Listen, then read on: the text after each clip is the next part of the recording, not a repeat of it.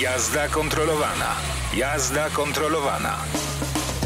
Zapraszają Bernadeta Szczypta i instruktor nauki jazdy Tomasz Pogroszewski.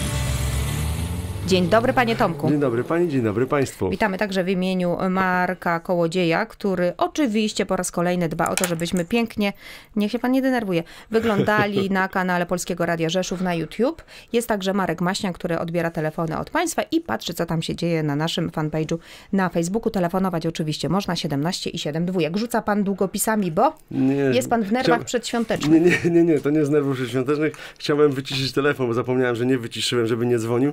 I tak jakoś gwałtownie się ruszyłem, że ten długopis mi wyskoczył z ręki. I mamy już naszych pierwszych czatujących. E, Witamy pana Romana. Dzień dobry, panie Romanie. Pan Roman domaga się, żebyśmy czym prędzej zaczęli, bo e, czas ucieka, a każda minuta programu cenna. I pan Tomek, pozdrawiam, pierwszy dzień zimy. No tak, ona Czy- tu jest. Dzisiaj pierwszy dzień zimy? Dziękujemy panie Tomku. Tacy jesteśmy zakręceni lepieniem uszek, że nie zauważyliśmy.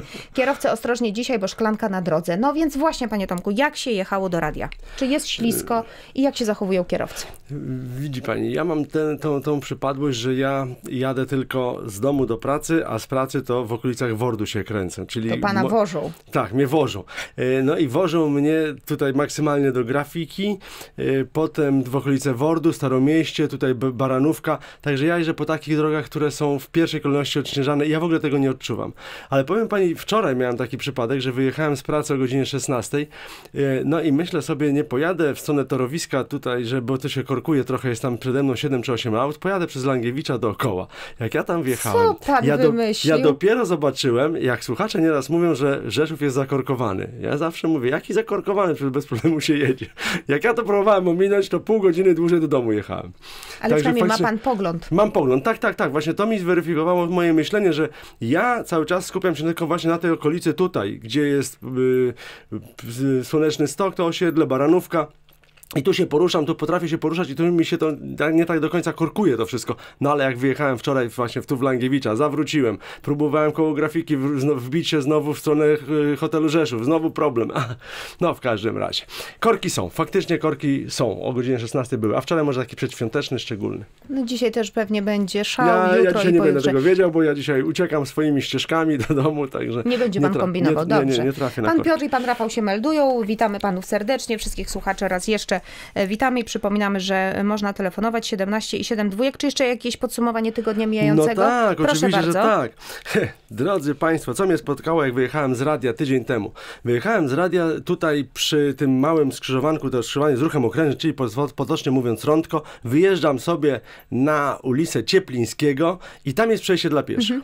Y, Widzę, przechodzi pani przez przejście dla pieszych, ja czekam, y, jeszcze nie wjechałem w Cieplińskiego, dwa auta zatrzymały się na pasie na Cieplińskiego, a trzecim pasem, ta pani zdążyła przejść prawie dwa pasy, a trzecim pasem jedzie czerwony pojazd straży pożarnej. Przejeżdża centralnie przed tą panią. Mnie zmroziło. Myślałem, że dojdzie Na do tragedii. sygnale jechał? Nie, gdzie na sygnale? Tak po prostu sobie jechał. No i, i widzę, że on zawraca na Cieplińskiego, więc mówię, no jedyna okazja, żeby z nim porozmawiać, więc ja też zawracam w tym samym miejscu. Stanąłem obok, otworzyłem szybę i mówię, czy ma pan świadomość, co pan zrobił? Widziałem skruchę w jego, w jego oczach, aczkolwiek pasażer nie miał tej skruchy. Pasażer do mnie mówi, a wie pan, jak inni jeżdżą? Ja wie pan, to jeżeli inni kradną, powiedzmy, nie wiem, miliony albo dziesiątki milionów, to niech pan milion ukradnie albo, albo 10 tysięcy, tak? Jeżeli komuś wolno, to panu też wolno, tak? No, pogadaliśmy sobie chwilę, mówię, Wie pan, powinienem szczerze mówiąc pojechać do naczelnika i powiedzieć, co, jak pan jedzie, jak taki pojazd, który powinien być wzorem do naśladowania Straży Pożarnej, jak się zachowuje. E, Ten pan oczywiście Dobry skrucha. miał pan dzień. Tak, ten pan miał skrucha, skrucha, skrucha. Yy, ruszyliśmy. Ja patrzę, a to jest Ochotnicza Straż Pożarna. Z miejscowości nie podam jakiej. Ale pozdrawiam serdecznie kierowcę z Ochotniczej Straży Pożarnej. Co dalej? Jadę dalej, minęło pół godziny. Jadę ulicą Krakowską, oczywiście kursant mnie wiezie. Zatrzymujemy się przed przejściem dla pieszych, a obok nas karetka pogotowia. Bez sygnału, bez niczego. Po prostu karetka, pieszy przechodzi przez przejście, a karetka mu przed nosem. Drugi pojazd pseudo Umówiły się służby? Nie mam pojęcia. Czekałem jeszcze na policję, żeby policja to samo zrobiła, ale policji nie trafiłem, nie zrobiła. Myślę, że policja tak nie robi. A te dwa pojazdy niestety tak. No i smutne. I Smutne, smutne. bardzo smutne, a, tak bardzo często- niebezpieczne. Przecież to No więc właśnie. potwornie niebezpieczne. A tak często prosimy o to, żeby mm, kierowcy, żeby piesi byli w drugą stronę czujni, prawda? Kiedy jedzie, em, służby jadą na sygnale, żeby zachowywać się w odpowiedni sposób. No ale gdyby oni by na, byli na sygnale, to były normalne pojazdy. Zwykłe, normalne pojazdy. Nie miały sygnałów dźwiękowych, błyskowych, nic. Tylko tak się No właśnie zawsze zachowały. muszą się zachowywać przyzwoicie i No koniec, oczywiście, kropka. no każdy z nas, prawda? My, jeżeli wymagamy od tego, tego od kierowców y, takich, powiem, cywilnych, no to tym bardziej takie służby powinny świecić przykładem, a nie, A nie, nie. a nie, nie. Pan Marcin y, ma pytanie, czy jakiś radiowy kalendarzek dla stałego słuchacza się znajdzie? Z życzeniami pan Marcin do nas napisał. Panie Marcinie, uwaga, uwaga, otrzymuje pan od nas kalendarz. Panie Tomku, czy zechciałby pan y, do kamerki pokazać, jak Proszę wyglądają bardzo. nasze piękne kalendarze? Taki piękny. Tak, taka Ja jest mogę okładka. I taki koncertowy w tym roku dla Państwa O. kalendarz przygotowaliśmy z przepięknymi zdjęciami. Tak, Y, widać Są ładnie? zdjęcia, tak, z naszych najlepszych Pani śledzi tam, koncertów. tam pani nie Aha, śledzi. ja nie śledzę, bo patrzę, co Pan robi. Ale teraz No taki będę śledziła. O, bardzo ładny. To dni otwarte naszej No rozgłośni też, bo jeszcze gdyby Pan, o, proszę Coś zobaczyć, lipiec, Ale. Radio Biwak i nasza laleczka. A co, a co dalej, a co dalej? A tutaj, no nic. No Mateusz Ziółko też jest. No też. Proszę Państwa, więc tak, mamy kalendarze. Niezłe ziółko z tego Mateusza. No pewnie, w jednym z programów, czy pan słyszał, jak on pięknie śpiewał? Jasne. Yy, mamy te kalendarze, w dobre ręce je oddamy za wypowiedzi na antenie na przykład, za ciekawe maile, za ciekawe czatowania, ciekawe czaty, jak najbardziej. Proszę Państwa, temat yy, i proszę już Pana.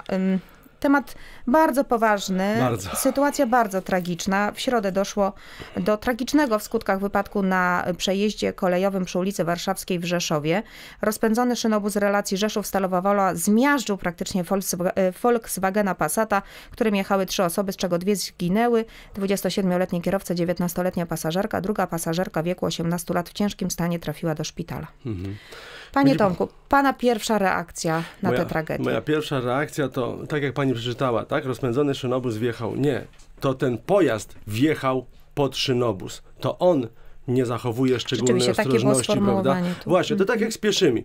Pieszego potrącił pojazd. Nie mówi się, że pieszy wtargnął na przejście nawet pod bezpośrednio nadjeżdżający pojazd, albo w pieszy, nie wiem, coś zrobił niewłaściwego, tylko pojazd potrącił pieszego czy rowerzysta. A różnie, różnie bywa. Tutaj też z filmiku ewidentnie widać, że kierowca nie zachowuje szczególnej ostrożności, nie zwalnia, nie rozgląda się, nie patrzy, tylko trudno mi powiedzieć z jakim impetem, bo ten filmik jest bardzo krótki, ale wjeżdża na torowisko. Wjeżdża na torowisko bez upewnienia się, bez, bez zachowania szczególnej ostrożności.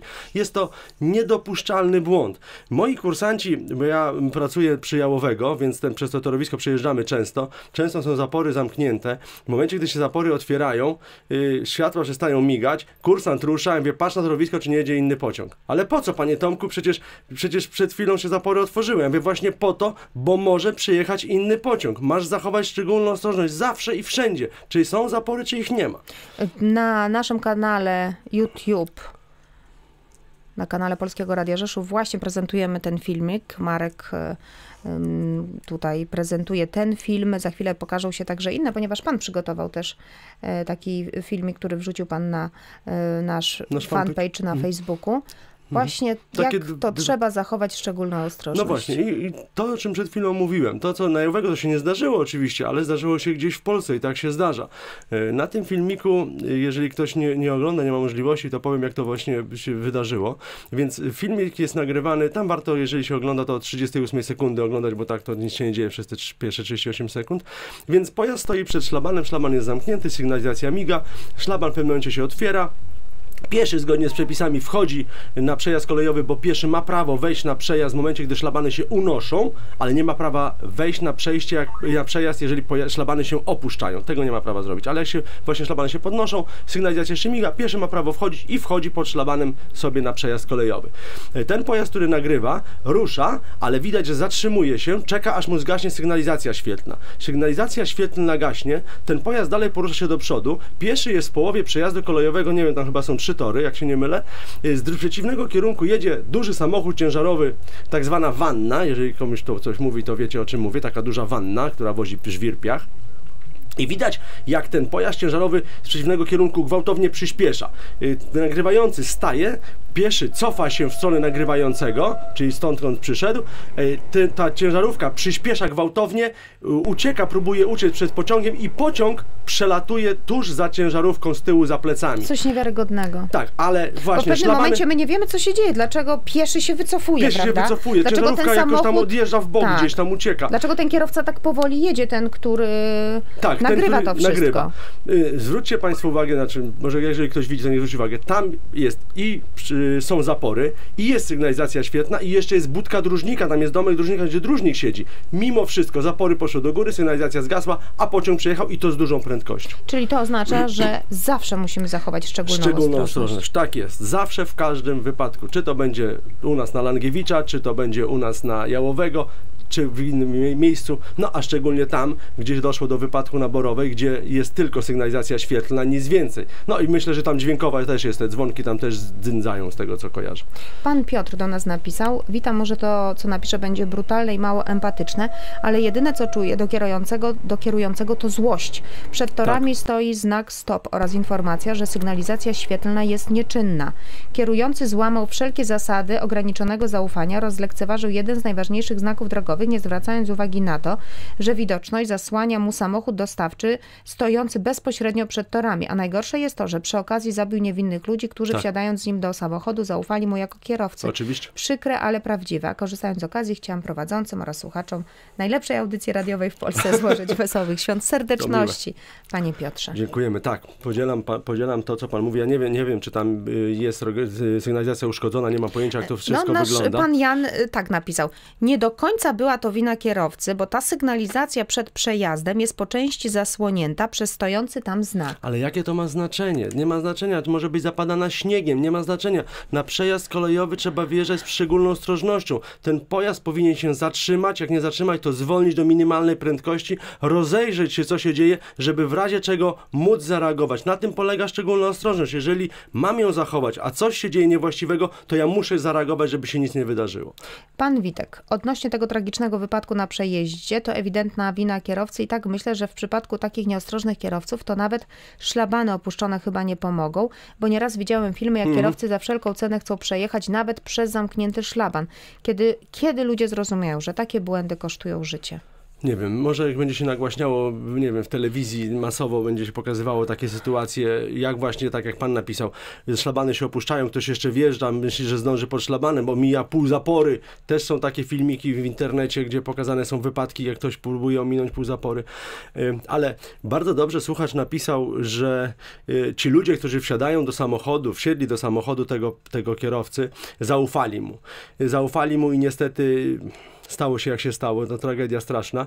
Y, Ja mam taki tak, bo to przypadek... też nie chodzi o to, żeby pastwić się nad Nie, kierowcą, nie, nie, prawda? Tylko żeby dla samego siebie jakieś wnioski z tego wyciągnąć. No i tak, żebyśmy my przy, w dyskusji y, porozmawiali, może to będzie jakiś oddźwięk, nie wiem, nawet przy stole wigilijnym, że taka tragedia miała miejsce, że trzeba uważać, że nie wolno przejeżdżać tak gwałtownie, że trzeba myśleć i tak dalej, i tak dalej. Ale wróćmy, wrócę do tego wątku, który poruszyłem, zaufania. Y, Kiedyś, jeszcze dawne lata, jak nie mieszkałem w Rzeszowie, Grupka ludzi, młodych, pięć osób chciało jechać z Łomży do Białegostoku na dyskotekę. Y, Jedna dziewczyna powiedziała z, tych, z tej piątki, że jeżeli ten chłopak będzie siedział za kierownicą, to ona nie wsiada do samochodu i z nim nie jedzie, bo on jeździ jak wariat. Y, Wszyscy, cała czwórka się z niej śmiała, przestań, nie wygłupiaj się, co ty opowiadasz, nic się nie stanie, on będzie jechał, dobrze jeździ i tak dalej. Uwierzcie mi państwo, ta dziewczyna nie wsiada do samochodu, zrezygnowała, cała czwórka zginęła. Przykre, prawda? To my teraz zrobimy przerwę muzyczną i za chwilę wracamy.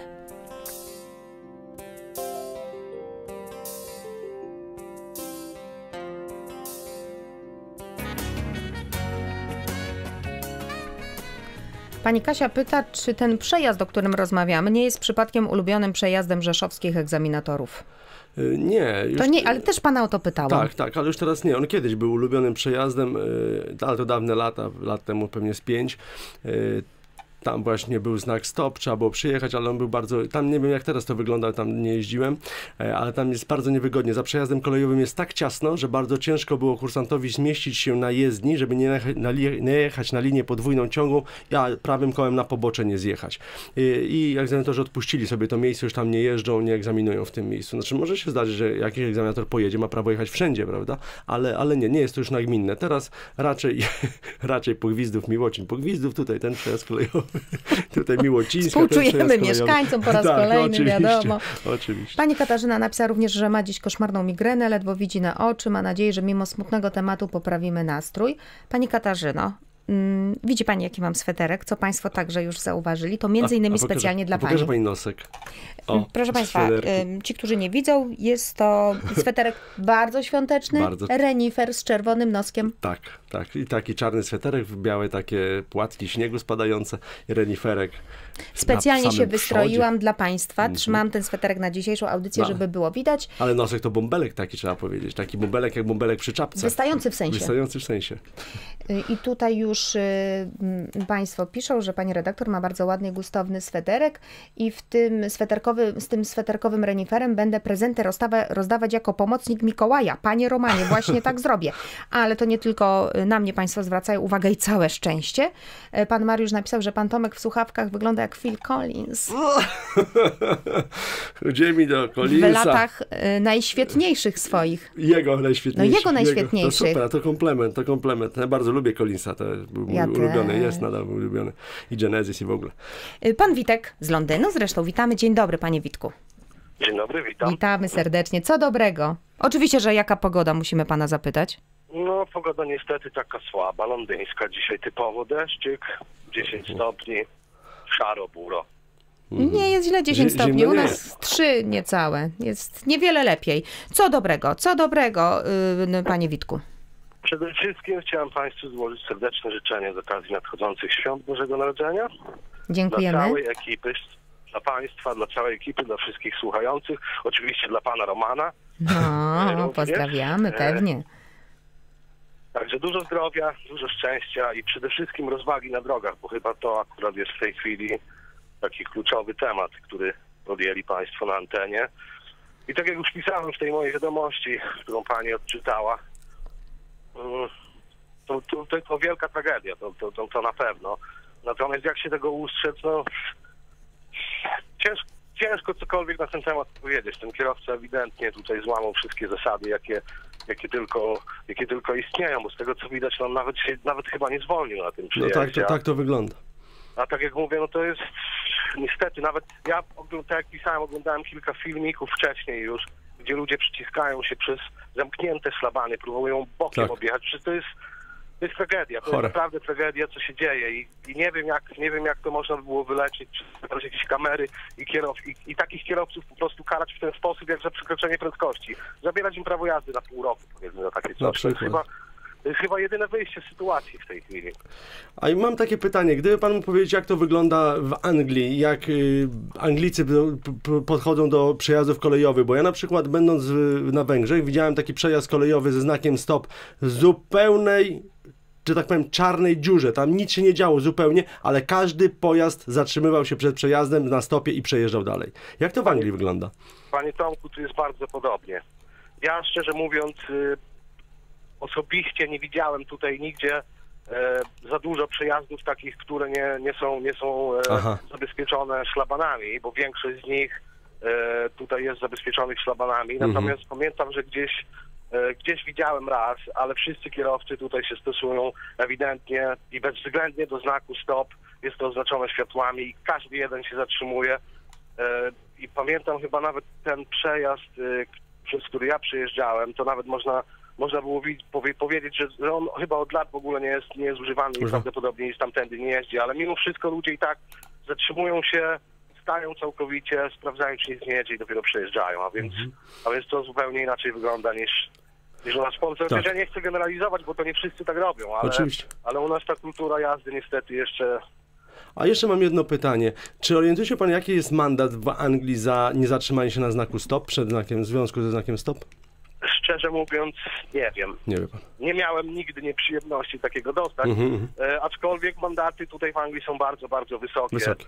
Mm, Bo na, za przekroczenie prędkości, powiedzmy, e, na autostradzie powyżej 100 mil na godzinę, Mhm. policja bezwzględnie zabiera prawo No jazdy, właśnie. oddaje sprawę do sądu, a kary bardzo często zaczynają się od 5 tysięcy w górę i jeszcze są jakieś prace publiczne, także to jest bardzo dotkliwe, ale mało tego, e, to jest to, o czym kiedyś mówiłem na antenie, że w momencie, jak- kierowca dostaje mandat za wykroczenie, dostaje również punkty, a o punktach jest informowana firma ubezpieczeniowa, Tak, która z tak. automatu podnosi ubezpieczenie dla takiego Tak, kierowcy. tak. Także to jest podwójna kara. Tak. Panie Witku, serdecznie dziękujemy. Przyjmie pan kalendarz? Oczywiście. Bardzo Ja się cieszymy. Wszystkiego dobrego. Pozdrawiamy pana serdecznie. Wszystkiego dobrego również. Do usłyszenia. Do usłyszenia. Pan Roman napisał, w, cywilizowanych krajach świata ruch torowy oddziela się od ruchu samochodów, pieszych itp. w miejscach jego koncentracji, dlatego e, w miejscach jego koncentracji, dlatego gdzie budowa estakad i wiaduktów? O, No tak, no tak, ale jeżeli tego nie mamy, no to powinniśmy myśleć, powinniśmy dbać o własne życie, o własne bezpieczeństwo. Ale to, co yy, właśnie słuchacz przed chwilą powiedział, yy, że czy jest, czy przejeżdża pociąg przez torowisko, czy nie przejeżdża, tam każdy w Anglii uważa.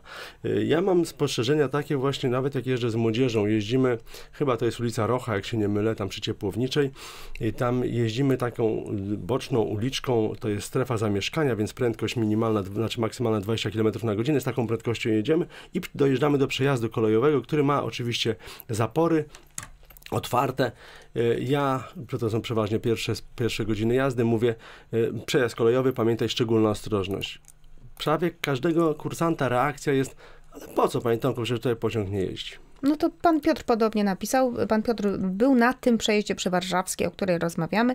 Yy, Napisał, że był i sprawdził. Jest widoczny stop oraz znak, że sygnalizacja jest nieczynna. A poza tym, jakie to ma znaczenie? No. Przejazd to, prze- przejazd. Tak jest, jakie to ma znaczenie? Szczególna ostrożność. To, że kierowca nie, nie, nie zatrzymał się w związku ze znakiem stop, to się nie zatrzymał, ale przecież przejeżdża przez przejazd kolejowy. Ten, ten bus biały zasłania widoczność. No, jest to dla mnie... No ludzie, jednym słowem, no O, no, no. ludzie. E, Panie Tomku, Komenda Miejska Policji w Rzeszowie e, zapowiedziała, że zwróci się do kolei, by rozważyła zamontowanie zapór na tym przejeździe kolejowym. No tak, no W maju tam już doszło do takiego poważnego wypadku. 4 No to- maja szynobus zderzył się z Nissanem. Na tak szczęście pan- nikt nie zginął, czy osoby ranne. No tak jak pan Roman powiedział, no pobudujmy estakady, pobudujmy przejazdy jakieś podziemne, nie wiem, y, wybudujmy, postawmy wszędzie szlabany, no ale póki tego nie ma, to trzeba, trzeba myśleć, trzeba żyć. Dobrze, panie Tomku, raz jeszcze przypominamy od początku do końca, jak zachowujemy się przed przejazdami kolejowymi i na przejazdach kolejowych. Okej. To zacznijmy od tego, że przed każdym przejazdem kolejowym, powtarzam, przed każdym przejazdem kolejowym szczególna ostrożność, czyli zwalniamy, y, dostosowujemy prędkość do przejazdu i do tego, żeby zareagować w razie, gdyby miało, miało się coś wydarzyć niespodziewanego. Właśnie taki na przykład przejazd pociągu, czyli ta szczególna ostrożność. Możemy zwolnić, możemy zredukować, ale na pewno prędkość musimy zminimalizować. Lepiej jest nie zmieniać biegów, jeżeli ktoś jest niedoświadczony, na przejeździe kolejowym, bo można się pogubić, można, można spanikować. Czyli lepiej mieć tą dwójkę i na dwójce spokojnie sobie przejechać. Y, Z, nie wolno nam wyprzedzać na przejazdach kolejowych żadnych innych pojazdów, czyli ani rowerzysty, ani motorowerzysty wyprzedzać na przejazdach kolejowych nam nie wolno. Zatrzymywać się nam też nie wolno na przejazdach kolejowych, więc pamiętajcie Państwo o tym, że jeżeli wjeżdżacie na przykład na Langiewicza, chcecie wjechać na przejazd kolejowy, a widzicie, że tam się korkuje, tam się bardzo często korkuje na Langiewicza, więc musi być dla Was miejsce za tym drugim szlabanem. Wy macie, musicie opuścić przejazd kolejowy. Czyli stajemy, jeżeli jest potrzeba, jeżeli jest ten korek, stajemy przed sygnalizacją, żeby sygnalizację widzieć i żeby szlaban nam się na głowę nie, nie, nie opuścił i dopiero w momencie, gdy widzimy miejsce dla siebie, przejeżdżamy przez przejazd kolejowy. Nie wciskamy się na siłę, że a prawdopodobnie pojadą, a prawdopodobnie tam widzę, że tamten ruszał, to ten też ruszy i wszystko będzie ok. Tak się nie wolno nam zachowywać.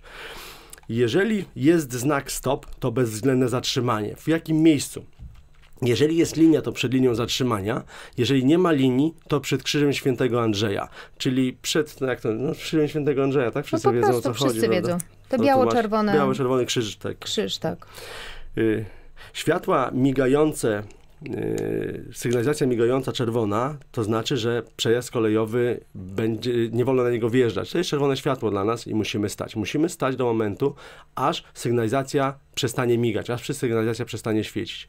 Jeżeli mamy sytuację taką jak na Langiewicza, taką jak na Jałowego, w innych miejscach, gdzie jest sygnalizacja świetna i są zapory, to Zapory zaczynają się zamykać. Sygnalizacja miga, zapory się zaczynają zamykać. Nie wolno nam wjechać za sygnalizator i za zapory. Pieszy też nie ma prawa, ani rowerzysta, żaden inny pojazd wjechać za zapory. Musi stanąć i czekać, aż przejedzie pociąg, aż zapory się będą otwierały.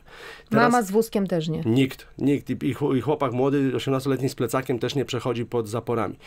Y, jeżeli zapory się zaczynają otwierać, Pieszy ma prawo wejść na torowisko i przechodzić, ale wszyscy inni uczestnicy ruchu, czyli motorowery, rowery, samochody, czekają, aż zapory się otworzą i zgaśnie sygnalizacja Panie Tomku, świetlna. nikt nie czeka, aż zgaśnie ba. sygnalizacja świetlna. Czekają, nauki jazdy czekają. Tylko i wyłącznie. Tak, ja też czekam, jak mi coś takiego spotka. To ja już też będę zawsze czekała. Tak. Cóż jeszcze mógłbym powiedzieć? Patrzę w swoje notatki.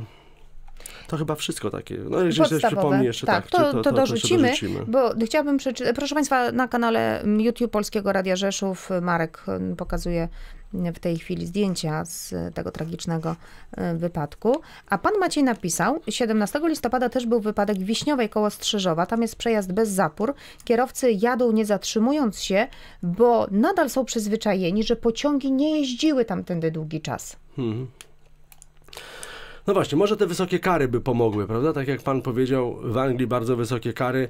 E, tak jak mówiliśmy wcześniej, pamiętam Belgia albo Holandia za przekroczenie prędkości o 20 km na godzinę 3,5 tysiąca złotych na złotówki polskie e, i dwa miesiące prawo jazdy cofnie zabrane. Także może w Polsce też by coś takiego zadziałało, może by pomogło. Może, może to jest sposób właśnie na myśl, spowodowanie myślenia, pobudzenie myślenia wśród ludzi, wśród kierowców. A pani Katarzyna potwierdza, mm, rozumiem, że wiśniową, że fakt y, zdawałam 15 lat temu, egzamin pewnie na prawo jazdy, y, i tam były jeszcze krzaczory zasłaniające wszystko. No krzaczory to się teraz też często zdarzają, które zasłaniają i sygnalizację, i znaki, ale to nas nie zwalnia z tego, że jeżeli przejeżdżamy przez przejazd kolejowy, to mimo wszystko ta szczególna ostrożność. Jeżeli znak stop jest zasłonięty przez krzaczory, to no, można walczyć. Jeżeli policjant by chciał nas ukarać, że my się nie zatrzymaliśmy, no to przez krzaczory go nie widzimy, tak?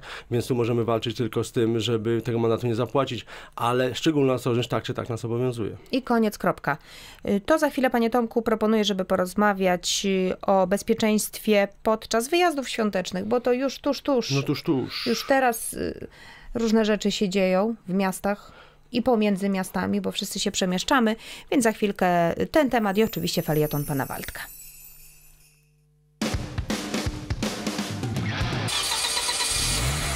Jazda kontrolowana.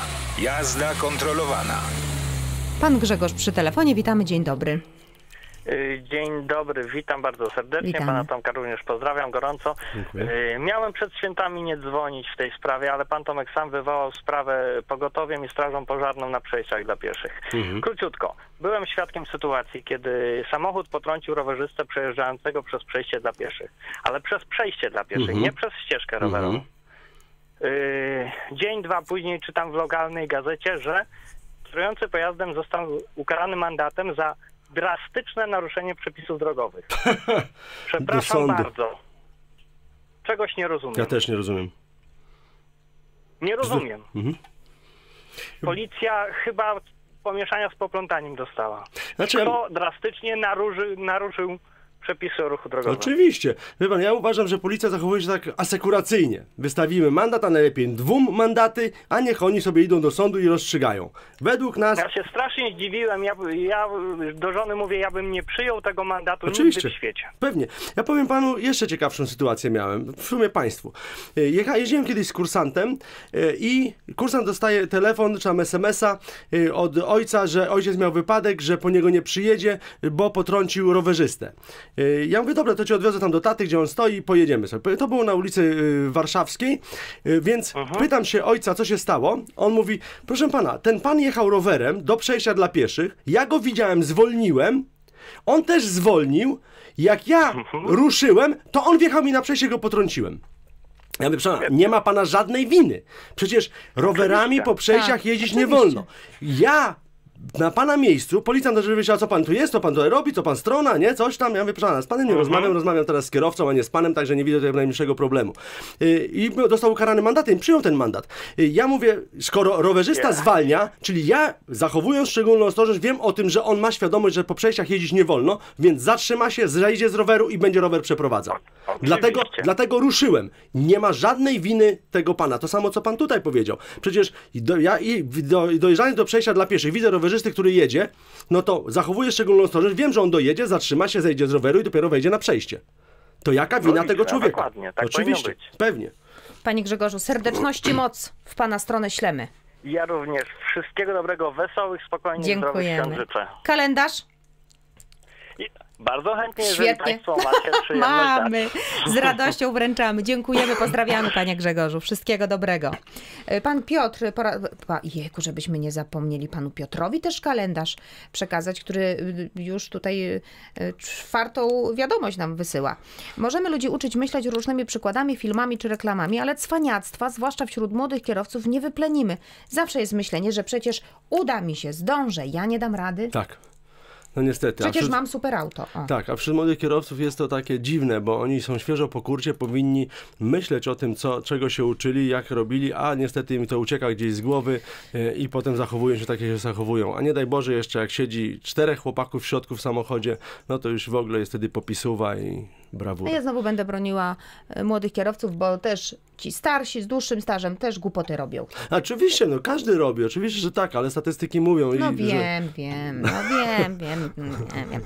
Y, Panie Tomku, Tak? święta, święta, święta, święta. jeździmy, jeździmy, pan również Jeździmy. będzie się przemieszczał i Będę. na pewno się pan przygotowuje już do tego. Do przemieszczania się nie Termosik, przygotowuje. Nie, nie, nie, nie kocyk. przygotowuję się. Pani, te, te czasy chyba już minęły, gdzie się człowiek przygotowywał. Pamiętam kiedyś, jak jechałem 130 km do Warszawy, trzeba było mieć kanister paliwa, trzeba było mieć kanapki, trzeba było mieć jajka na twardo, kiełbasy, nie wiem co tam jeszcze, klucze i tak dalej.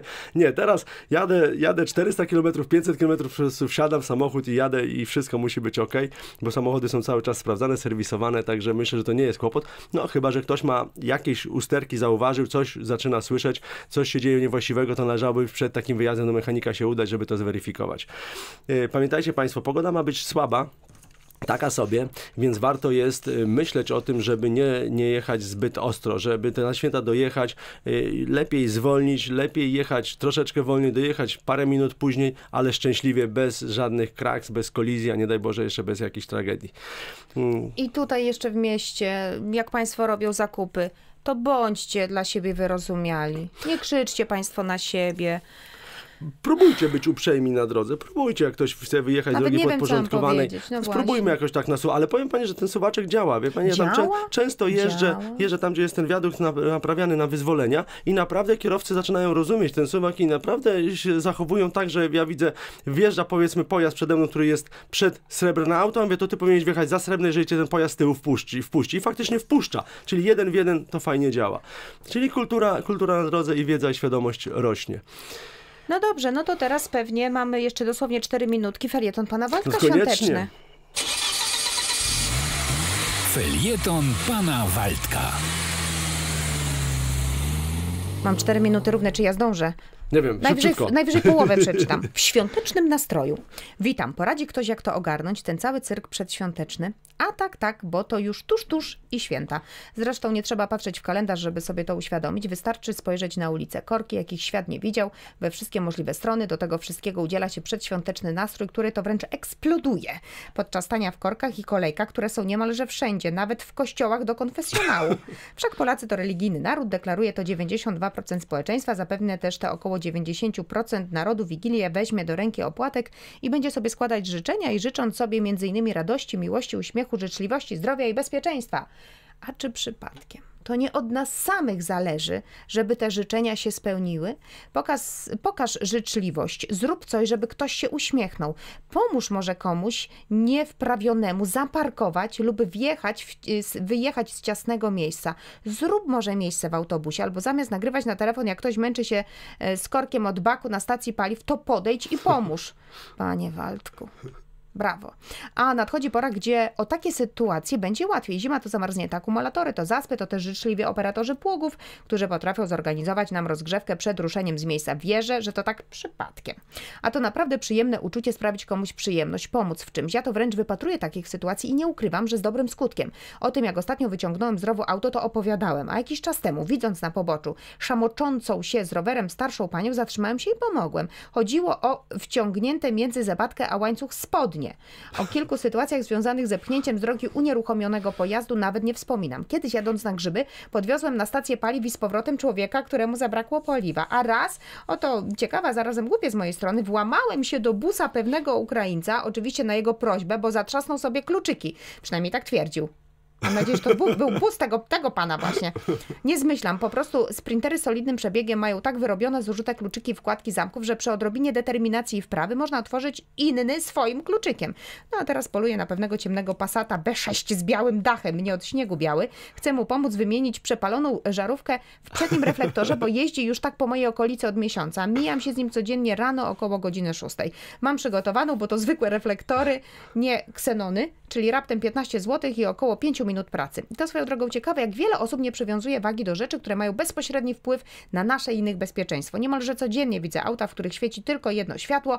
Stop o zgrozo tylko to trzecie. Pewnie dlatego, że tam są diody, nie żarówki i się nie przepalają. I temat, co powraca e, co roku po opadach śniegu, zasypane niewidoczne reflektory i lampy. No i jak możemy komuś życzyć bezpieczeństwa, kiedy sami narażamy ich swoim niedbalstwem i lenistwem? Kłania się obsługa codzienna, w skrócie OC. Każdy, kto posiada uprawnienia na choćby wózki jezdniowe wie o czym mowa, czyli codzienne sprawdzenie stanu technicznego urządzenia. A wózki z małymi wyjątkami nie mogą się poruszać po drogach publicznych, ale i tak muszą być sprawne w 100%. A auto kto sprawdza przed wyruszeniem? Pewnie nikt, e, bo byleby było okienko niczym w czołgu do obserwacji drogi do przodu. Ostatnio właśnie biłam się w piersi, bo ja tak robię i ogień na tłoki. No to może od tego roku e, za życzeniami pójdą czyny. Byłoby super. Kończąc życzę wszystkim zdrowych, spokojnych, przeżytych w ciepłej atmosferze świąt Bożego Narodzenia. Waldek, czyli pan Waldemar Warchoł. Dziękujemy serdecznie. Wszystkiego dobrego, panie Waldku. Zdążyłam, uf. I papa mówimy, Krzysztof tutaj macha ręką, żeby papa robić. Papa robimy, papa. Proszę Państwa, zdrowych, pogodnych, radosnych świąt Państwu życzymy i jak zwykle tylu powrotów, ilu wyjazdów. Tak. Dołączam Wszystkiego się. dobrego. Wszystkiego Marek najlepszego. Maśniak, Marek Kołodziej, instruktor nauki jazdy Tomasz Pogroszewski. I pani redaktor Polskiego Radia Rzeszów, pani Bernadetta Szczypta. Dziękujemy bardzo. Wszystkiego dobrego. Polskie Radio Rzeszów. Reklama. Chcesz zarabiać średnio 400 zł dziennie na rękę w nowoczesnej